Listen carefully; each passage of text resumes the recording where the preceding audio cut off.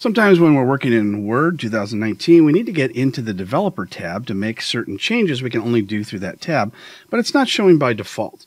So we need to go to the File tab at the top, all the way down to Options, and then from there we need to go to Customize Ribbon. And on the right-hand side, scroll down to where it says Developer, check that box. And now we have the Developer tab right here.